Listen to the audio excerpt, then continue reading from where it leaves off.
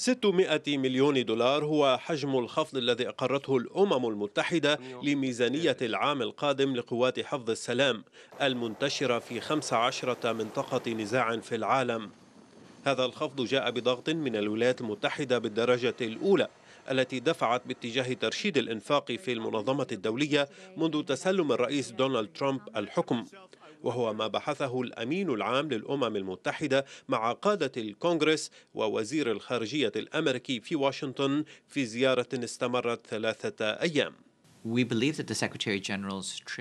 نؤمن أن زيارة الأمين العام إلى واشنطن كانت مثمرة جدا لقد وجد فهما واسعا للعمل الذي تقوم به الأمم المتحدة وأهميتها وأهمية عملياتها المختلفة حول العالم نعتقد أن ذلك سيساعدنا للمضي في علاقة قوية في المستقبل الولايات المتحدة ستبقى المساهم الأكبر في ميزانية قوات حفظ السلام الدولية بنسبة 28.4% لاحظنا أن عددا من مهمات حفظ السلام التي تعمل منذ وقت طويل باتت جاهزة للتغيير في ولايتها وقررنا الخفض بنسبة 7.5% في ميزانية عمليات حفظ السلام للعام المقبل لتعكس بشكل مسؤول انتشار موظفي الأمم المتحدة.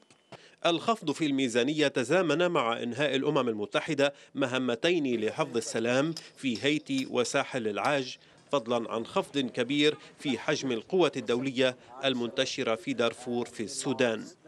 الميزانية العامة للأمم المتحدة ستقر في اجتماعات لاحقة في أيلول سبتمبر المقبل بعد تجاوز العقبة الرئيسية الحالية المتمثلة بميزانية قوات حفظ السلام. من الأمم المتحدة في نيويورك نبيل أبي صعب الحرة